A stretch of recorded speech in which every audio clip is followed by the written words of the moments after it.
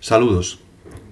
Esta es una grabación de la charla Los satélites de modulación de frecuencia vistos por un principiante que di en, el, en la Asociación Cultural de Radioaficionados Costa Blanca el pasado sábado 25 de febrero. Aquella charla no se pudo grabar correctamente en directo y esta, eh, este vídeo es un resumen de la charla para aquellos que no pudieron asistir. Antes que nada me presento, mi nombre es Miquel Forcada, mi indicativo es Ecoalfa 5 India Yankee Lima. Soy un radioaficionado bastante novato, como se puede ver por mi indicativo, pero tengo un pasado en banda ciudadana cuando era mucho más joven. Entre mis intereses en radioafición eh, estoy básicamente bastante loco por hacer SOTA, o sea, cimas en el aire, y probablemente podré preparar una charla en el futuro sobre este tema. Estoy mejorando mi telegrafía, que cosa que me resulta muy útil en, en, eh, en, SOTA, dado que es el modo que se usa fundamentalmente, o uno de los modos que se usa más. Me gusta también la VHF baja, eh, las bandas de 6 y de 4 metros. Y bueno, un detalle es que vivo a 300 metros de la asociación y a 100 metros del presidente Colfa 5 Foxtrot Hotel Kilo. Soy además profesor de la Universidad de Alicante, en donde doy clase e investigo sobre tecnologías de la traducción. Y entre otras cosas, hace tiempo fundé una empresa de tecnologías de la lengua. Esta charla va sobre satélites de radioaficionado. Los satélites de radioaficionado, como, eh, como es bastante lógico, son satélites artificiales que están construidos y pueden ser utilizados por radioaficionados y por tanto deben usar y usan frecuencias asignadas internacionalmente a los radioaficionados. Muchos de ellos reciben una designación en un catálogo que es el catálogo OSCAR, Orbital Satellite Carrying Amateur Radio, o satélites en órbita que llevan eh, radios de radioaficionado y tienen una designación OSCAR. Eh, tanto los que la tienen como los que no la tienen pueden llevar un transpondedor de banda cruzada que reciben una banda y transmiten otra y eso son los, esto es lo que vamos a usar nosotros para hacer nuestros contactos. Antes de hablar de satélites, me gustaría hacer una pequeña parada y hablar sobre un detalle que ocurre, una situación que ocurre con las frecuencias de satélite. No es, no es raro que oiga de vez en cuando satélites, mm, eh, perdón, QSOs terrestres en frecuencias que el plan de bandas asigna a las comunicaciones vía satélite y esos QSOs no deberían estar ahí. Eh, las frecuencias son las que aparecen aquí en la tabla. Estas frecuencias mm, las tenemos que dejar tranquilas porque son frecuencias que se usan para hacer eh, contactos vía satélite y por tanto no deben usarse para QSOs terrestres en ningún caso. Los satélites de radioaficionado, perdón, hay varios tipos de satélites. Los satélites de pueden ser de muchos tipos. Eh, hay satélites digitales que tienen digipetidores o digipeters a, PRS. Hay satélites lineales que lo que hacen es que copian todo lo que les entra a la banda de subida a la banda de bajada. Eh, digamos, de alguna manera copian una pequeña una, banda eh, de entrada y lo copian a la banda de salida y estos se usan para, sobre todo para Charlie Whiskey, para banda lateral y más recientemente para FT8 y sobre todo para FT4 que es más rápido. Y después veremos por qué es importante que los QSO sean rápidos. Los satélites de FM también eh, son satélites de radioaficionado de un tipo y este es el tipo al que vamos a dedicar esta charla. Y la pregunta es, eh, ¿qué son? Eh, los satélites de FM son satélites que llevan un transpondedor, que lleva un único canal, que se utiliza en modulación de frecuencia, y como llevan un único canal, muchas veces se compite muy duramente para acceder a este canal. Estos satélites son como una especie de repetidor de banda cruzada que pasa volando por encima de nuestras cabezas. Entonces, mientras está a la vista, lo podemos utilizar para, hacer contactos a través de él, usándolo como puente. Eh, hay satélites V barra U que tienen la subida en V y la bajada en U y hay satélites que funcionan al revés, que tienen la subida en U y la bajada en V. Y la pregunta es ¿por qué esta charla y por qué queremos empezar con satélites de FM? Porque en los satélites de FM, para empezar, prácticamente no necesitamos nada que no tengamos ya. Los podemos usar con equipos con walkies sencillos, bibanda, y los podemos usar incluso a veces con su propia antena incorporada o, o mejor con antenas direccionales improvisadas y Después, después en un momento hablaré un poquito sobre las antenas. Eh, también voy a asumir que no tenemos en principio un equipo full duplex que permita que nos permita escuchar en VHF mientras transmitimos en VHF simultáneamente, pero sí que tenemos otro equipo que nos permite a lo mejor tal vez escuchar con una antena independiente o utilizando un duplexor como el que veremos después en una transparencia. También voy a asumir que podemos guardar en las memorias de nuestro portátil, de nuestro walkie, una frecuencia de recepción y una frecuencia de transmisión independientes para cada satélite. Los satélites están en órbitas eh, de diversas alturas. La mayor parte de los satélites que llevan, yo creo que todos los satélites que llevan transpondedores de modulación de frecuencia, UV o VU, son satélites LEO, que son las siglas en inglés de Low Earth Orbit o órbita terrestre baja. Estos satélites vuelan a altitudes entre 2000, 200, perdón, realmente más, 400 y 2000 kilómetros, en órbitas que son elípticas, como son las órbitas de satélite, pero pueden ser más o menos circulares y realmente no son demasiado excéntricas.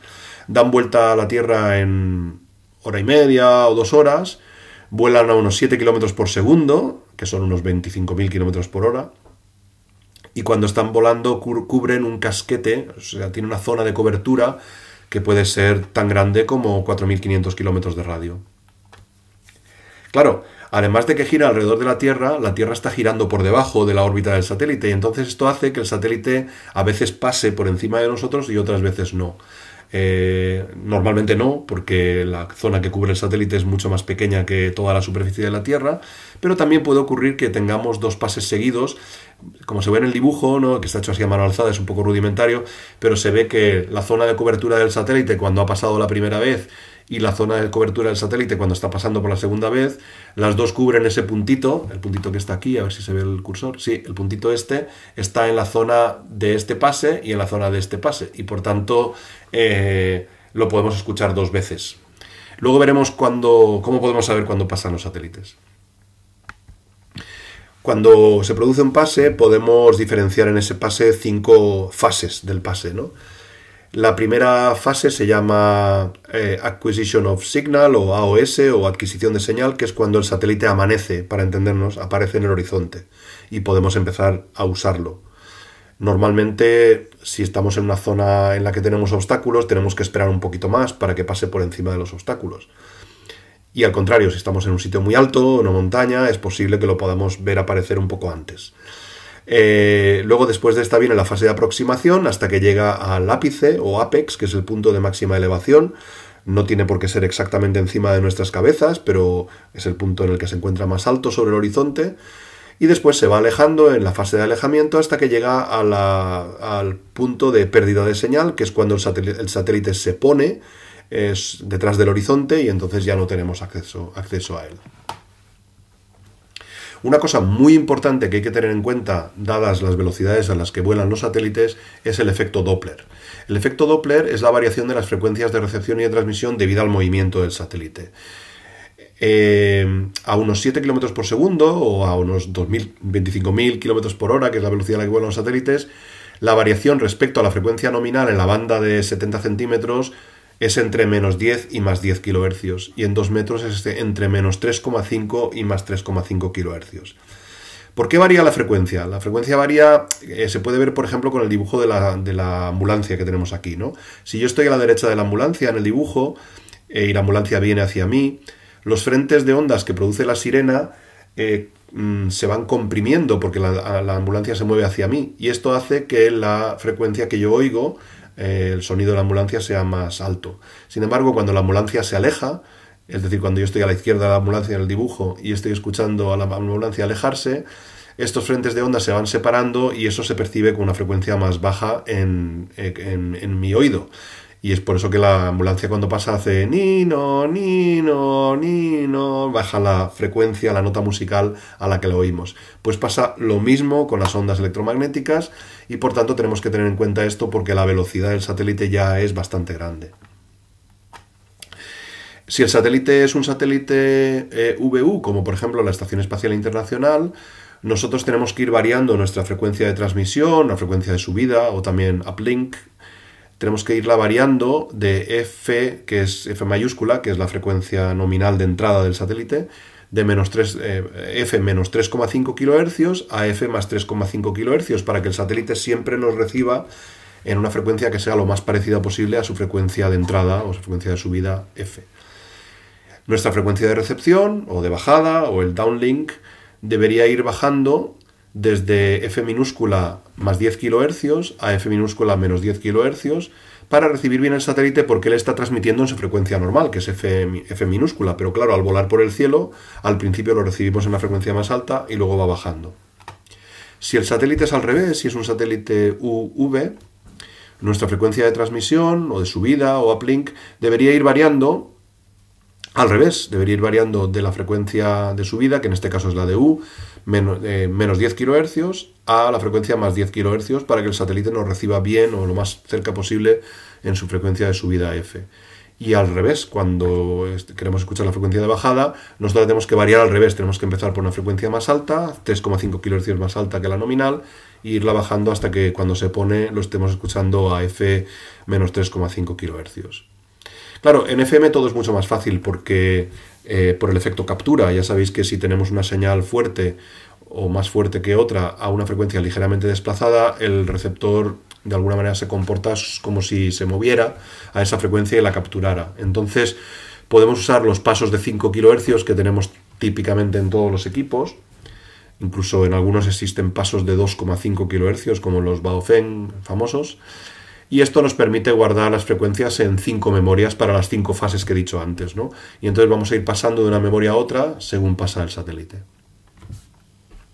Por ejemplo, para la Estación Espacial Internacional podríamos guardarnos cinco memorias, ISS-2, ISS-1, ISS, ISS más 1, ISS más 2, y guardar las frecuencias de bajada y las frecuencias de subida que aparecen en la tabla.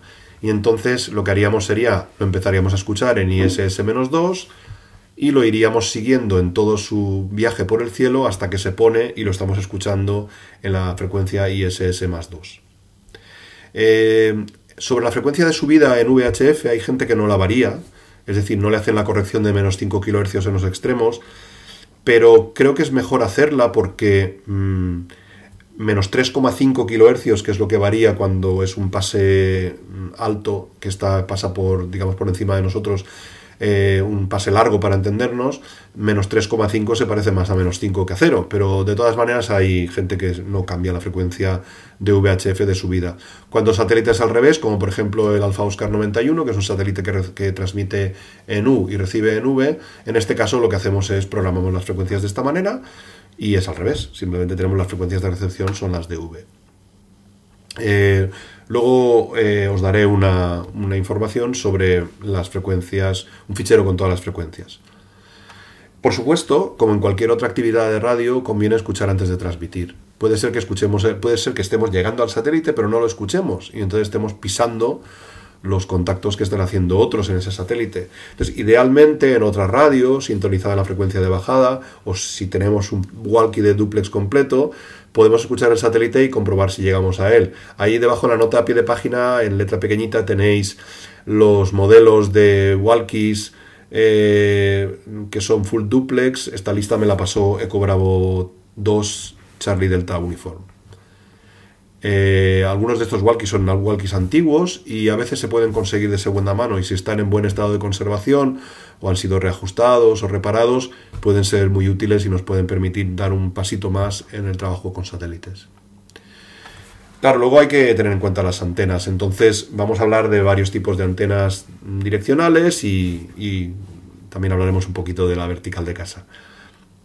Las antenas Arrow son antenas Yagi, Yagi Uda, perpendiculares, dos antenas, una para V y otra para U. ¿no? Entonces, eh, típicamente, como normalmente los satélites transmiten y reciben en la misma dirección, la antena de V y de U la tienen en la misma dirección, esto supone que con la antena ROW tenemos que darle la vuelta, una vuelta de 90 grados, para cambiar la polarización porque las antenas están perpendiculares. Estas antenas son muy buenas, son largas y a veces un poco eh, pesadas de llevar, pero son muy potentes porque pueden tener una ganancia estupenda y son muy direccionales.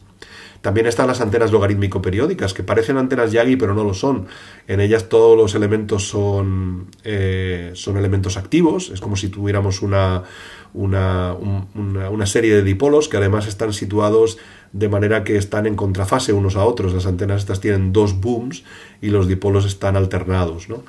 Estas antenas son, son también muy interesantes, son algo más cortas y es curioso que con elementos que parece que claramente son para VHF también sean resonantes en UHF, pero esto es por la estructura de los dipolos y sus distancias entre ellos. Yo tengo la antena que está a la derecha y estoy contento con ella, pero hay, hay varias marcas, están las ELK también, hay antenas interesantes para esto.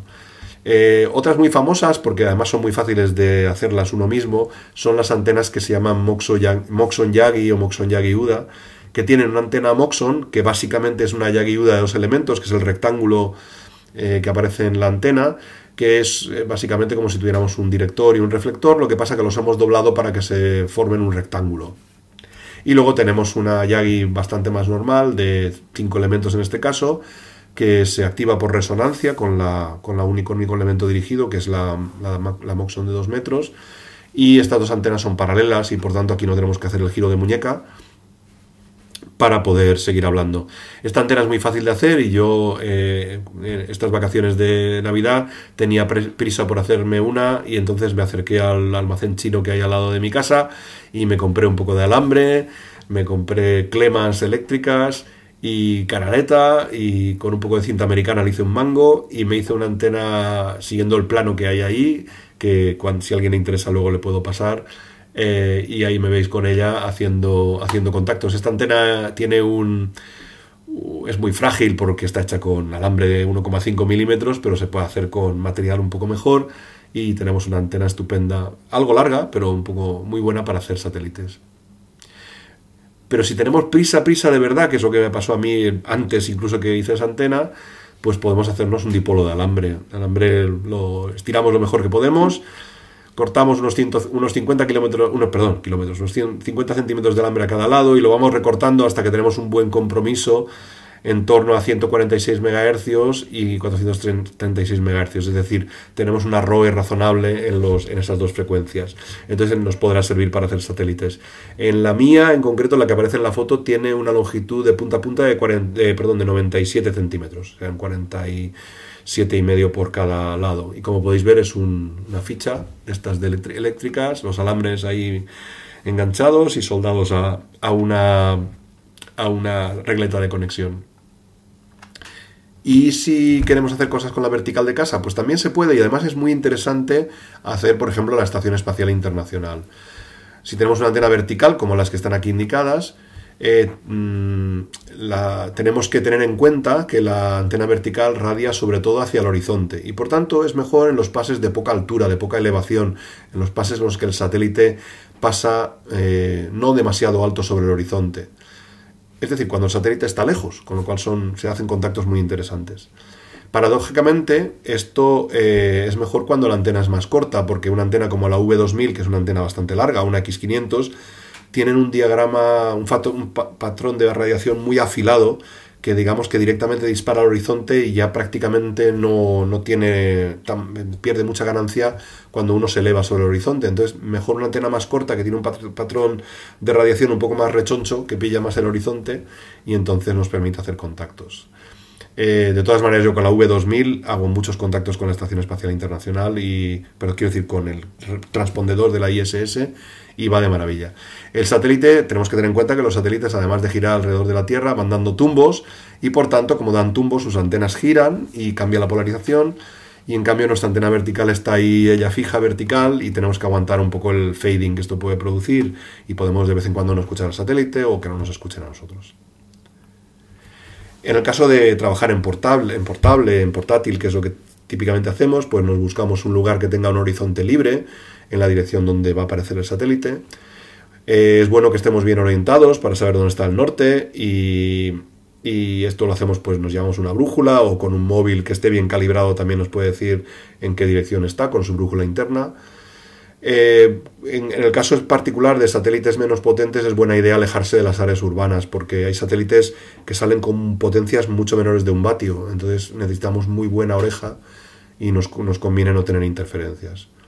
Eh, tenemos que abrir el squelch porque las señales son débiles y vamos a escucharlas mezcladas con el ruido y tenemos que acostumbrarnos a escuchar a los satélites eh, entre el ruido del, squelch abierto. Eh, lo hacemos moviendo la antena, orientándola en dirección al satélite. Si tenemos la suerte de que es un pase justo antes de amanecer o justo después de atardecer de la Estación Espacial Internacional, la podemos ver. Entonces es bastante fácil apuntar se ve un punto muy brillante que vuela por el cielo. Pero si no, pues tenemos que adivinar dónde está. Y luego otra cosa muy importante, tenemos que ir girando la antena porque la polarización del satélite puede ir cambiando. Entonces es muy importante este, saber hacer esto, este, este juego de brazo y muñeca que parece que esté uno haciendo ahí tai chi con, el, con la antena. Claro, decimos, vale, bien. ¿Cuál es, ¿Cómo sabemos qué satélite hay? Bueno, aquí tenéis una lista de aplicaciones para móviles Android, para móviles iOS o de Apple y también webs que os pueden decir cuándo pasan los satélites y por qué parte del cielo. Y eso es importante para planificarnos un poco porque tenemos que buscar ese sitio en el que vamos a hacer el contacto, sintonizar la radio y estar a la que salta a ver si podemos hacer algún contacto. Eh, estos programas, en, aquí tenéis unos pantallazos, por ejemplo, el de la izquierda es el Whisky, eh, Whisky 1 Alfa November Tango y el de la derecha es Look for Sat, o sea, eh, Look 4 Sat. Y este satélite, estos nos dicen por dónde va a pasar el satélite, nos hace un diagrama que nos explica el cielo más o menos, por dónde va a pasar, y así podemos buscar el lugar y nos dan algunas informaciones más sobre cuánto tiempo le queda o cuánto tiempo falta para que vuele y cosas así. Puede pasar que no oiga nada. Tenemos el satélite, tenemos la hora exacta, sabemos por dónde va a pasar y no oímos nada. Pero es que esto puede ser porque el satélite pase con el transpondedor desconectado. Entonces la única manera de saber si el transpondedor está desconectado es mm, comprobar que está desconectado, o sea, es a las malas. Pero tenemos webs como amsat.org barra status que recoge las observaciones de otros radioaficionados y, y las vuestras mismas si queréis contribuir y entonces podéis ver si el satélite recientemente estaba activo, con lo cual probablemente querrá decir que está activo eh, actualmente. Algunos satélites tienen cuentas en Twitter, que no hace falta tener Twitter para seguirlas, se puede usar un navegador normal sin cuenta de Twitter. Y por ejemplo, el Papa Oscar 101, que es el satélite filipino, tiene una cuenta en la que avisan de las activaciones. ¿Qué satélites podemos, mm, podemos usar? Bueno, la, Estación Espacial Internacional, de la que he hablado varias veces, tiene un, transpondedor que tiene un transmisor de 20 vatios, se oye muy bien. Es un sistema, es una, es una estación espacial muy popular, y es decir, es un transpondedor muy popular, suele ir muy lleno, y es muy difícil, por tanto, hacer contactos a través de él, a no ser que lo hagamos a una hora a la que no va a haber nadie y quedemos con alguien para hacerlo, o tengamos la suerte de que encontramos a alguien, por ejemplo, muy temprano por la mañana, ¿no? Eh, eh, esta mañana, por ejemplo, a las 7 y 20 de la mañana pasaba en un pase bastante rasante, entonces con la antena vertical he estado llamando y solamente al final me ha contestado Yankee Oscar, Yankee Oscar 3 Papa Golf Foxtrot, que es Florian, eh, y me ha escuchado desde Rumanía, o sea que no está nada mal. Como el satélite pasaba muy bajo y pasaba por el noroeste, él también lo tenía a la vista y hemos hecho un buen contacto. Hay más satélites, Alfa Oscar 91, el filipino que ya he mencionado ahora, Lilacsat y un satélite reciente del que os, hablaré ahora en un momento. Y tenéis aquí en este URL una buena, un buen resumen de los satélites que hay. Eh, las transparencias, además de este vídeo, tendréis ahí un PDF en el que tenéis los enlaces, los podréis copiar y podréis ir a buscar la información. He preparado un fichero, que es un fichero eh, CSV, que contiene las frecuencias de 11 satélites en 5 frecuencias por satélite para seguirlos y algunas otras frecuencias de interés. Se puede usar eh, directamente con Chirp para programar los walkies o si no lo podéis abrir con un programa de hojas de cálculo como Excel o LibreOffice o el, Google Sheets y lo podéis abrir y meter las frecuencias a mano. Eh, así que lo tenéis ahí disponible para, para bajarlo en ese URL corto. El satélite del que os comentaba, el satélite más reciente, el, el, Benjamín de los satélites de FM, es el satélite Charlie Alpha Sierra 5 Alpha, eh, que son las siglas de Chinese Amateur Satellite 5 Alpha. Y también tiene la designación Oscar eh, Foxtrot Oscar 118. Este satélite es como una especie de ordenador de sobremesa de grande, ¿no? Tiene, pesa unos 7 kilos y tiene dos antenas de cuarto de onda de U, de U una antena de cuarto de banda de V y tiene un látigo para recibir en HF. Tiene tres transpondedores, un transpondedor de FM V barra U, que es el que seguramente usaréis normalmente, pero también tiene dos transpondedores lineales, uno que sube en V y baja en U, y uno que sube en H, en 21 MHz, y baja en U. Pero son todos muy, muy flojitos, tienen 200 milivatios de transmisión cada uno, 23 dBm. Entonces tiene, mm, hay que tener buena oreja para escucharlo. ¿Cómo es, un QSO típico? Acordaos de que un, pase, bueno, acordaos, ¿no? Porque no os lo he dicho, un pase dura unos 10 minutos. Y todos queremos usar, queremos usar el satélite, entonces la idea es que no ocupamos demasiado el satélite y hacemos un QSO corto y rápido y completo, ¿no? Entonces, para llamar simplemente decimos nuestro indicativo y nuestro rectángulo Maidenhead, nuestro locator. No decimos TQ, no decimos TQSAT porque está claro que estamos llamando. Entonces nos responde la otra estación, da nuestro indicativo para que sepamos que nos está contestando a nosotros, da su indicativo y da su locator. A lo mejor dice 5.9, nosotros respondemos confirmando y ellos responden confirmando y el QSO se ha acabado y si os fijáis, fijáis se parece mucho al QSO que hace uno con una NFT8. O sea, es un QSO mínimo con intercambio de locator y poca cosa más. Que es cuando se considera completo, cuando hemos intercambiado esa información y los reportes en todo caso, pero típicamente son 5.9, aunque suelen ser de cortesía. Eh, lo normal no es empezar nosotros, lo normal es escuchar y entonces pues lo hacemos todo al revés. Escuchamos a Delta Lima 4 Sierra Delta Romeo que nos llama y entonces nosotros le llamamos, le damos nuestro locator y él seguramente nos contesta y nos dice 73 y hemos acabado ya, ¿no? Y para saber en qué rectángulo estamos y nos hemos ido a otro sitio, hay muchas aplicaciones de móvil que uno las, las abre y, y le dice directamente estás en India Mike 98 Sierra India. O sea, sabe perfectamente dónde estás utilizando el GPS. Cosas que no debemos hacer. Por supuesto, ni silbar, ni soplar, ni decir hola hola, ni meter portadora. ¿Vale? La idea para saber si llegamos, pues simplemente decimos nuestro indicativo y nuestro rectángulo. Y entonces, ya hemos, si hemos entrado y nos contestan, pues ya está empezado el QSO. Y si no nos oyen, pues repetimos eso, pero no hacemos ruidos raros ni, ni ocupamos el satélite metiendo QRM. Delante de nuestro indicativo, en mi caso de Alfa 5 India Yankee Lima y India Mike 98, no decimos ni CQ ni CQSAT para que ya saben, está claro que estamos llamando, ¿no? Cuando, vamos, cuando nos conectamos a un repetidor terrestre, no decimos CQ. Damos las buenas tardes y decimos nuestro indicativo, normalmente. Eh, por supuesto, no vamos a ponernos a charlar, a no ser que estemos completamente seguros de que hay poca gente usando el satélite. esta mañana sí que yo he tenido, he intercambiado algo más de información con Yankee Oscar 3, Papa Golf Foxtrot, porque estábamos solos, no había nadie más en el satélite. Y en el, ese último fase de alejamiento hemos podido intercambiar algo más que un locator. Eh, no llamaremos tampoco demasiadas veces si no nos responden, porque puede ser que no nos oigan, o que nosotros no oigamos el satélite, o que no quieran hablar con nosotros. Entonces, eh, no debemos hacerlo. Se pueden hacer cosas para mejorar la operación. Una es hacernos con un walkie banda de duplex completo. Son caros los nuevos, hay viejos que están a buen precio, pero hay que tener cuidado porque son, si son viejos pueden tener problemas. El que está en la, en la diapositiva es un Kenwood eh, Tango Hotel 78, que lo compré yo hace poco, lo conseguí en Wallapop y está en un estado ah, razonable y lo estoy usando para hacer satélites. Otra opción es conectar dos equipos a la antena utilizando un duplexor, como el que hay en el dibujo, que básicamente lo que hace es que nos divide las frecuencias en dos, en dos eh, ramas y por tanto podemos usar eh, dos equipos, pero claro, no es, muy, no es muy cómodo la antena, los dos walkies, el duplexor, esto puede ser útil cuando estamos en, en, fijo, no cuando estamos por ahí en portátil. En portátil.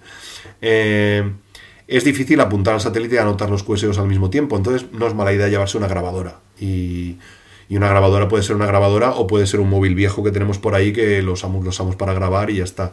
Entonces luego pasamos a limpio lo que hemos escuchado, los QSOs que hemos hecho, lo escuchamos, escuchamos la grabación y pasamos el, log y ya está.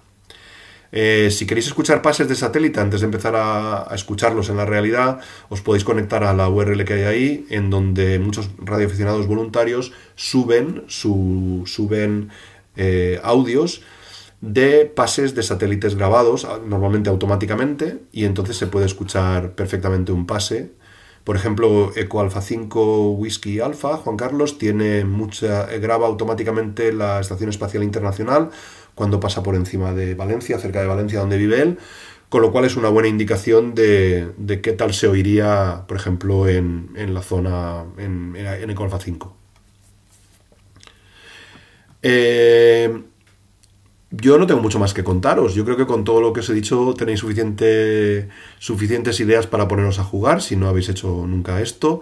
Eh, por supuesto, hay gente que sabe muchísimo más que yo eh, y entonces, bueno, que os informéis y vayáis preguntando.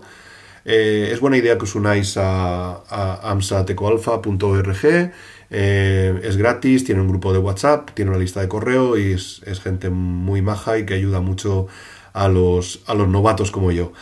Y es importante también eh, pensar en la posibilidad de llevarse la radio al monte, al campo o salir al mar con ella, porque si salimos de rectángulos de locatos raros, hay colegas por ahí que buscan locatos raros. O sea que si vamos a hacer, por ejemplo, una travesía en barco, eh, puede ser buena idea llevarnos el, llevarnos el walkie y hacer alguna conexión de satélite, porque puede ser muy preciado el rectángulo donde nos encontremos. Por supuesto, aquí tenéis mi dirección de correo electrónico, que también está en la transparencia siguiente para cualquier cosa que queráis. Eh, la última transparencia dice que estas transparencias son libres y que por tanto podéis modificarlas y distribuirlas libremente eh, bajo los términos de estas licencias que están aquí y por tanto me podéis pedir una copia y podéis usarlas para montar una charla en vuestro radio club o para eh, montar una charla para quien sea a partir de estas. Las transparencias están a vuestra disposición de acuerdo con esta licencia y las podéis usar para, para producir nuevas. Si alguien necesita una copia de, del fichero para poderlo editar, solamente me tiene que escribir. Y nada, esto es todo. Espero que os haya sido útil. 73 de Colfa 5, India Yankee Lima.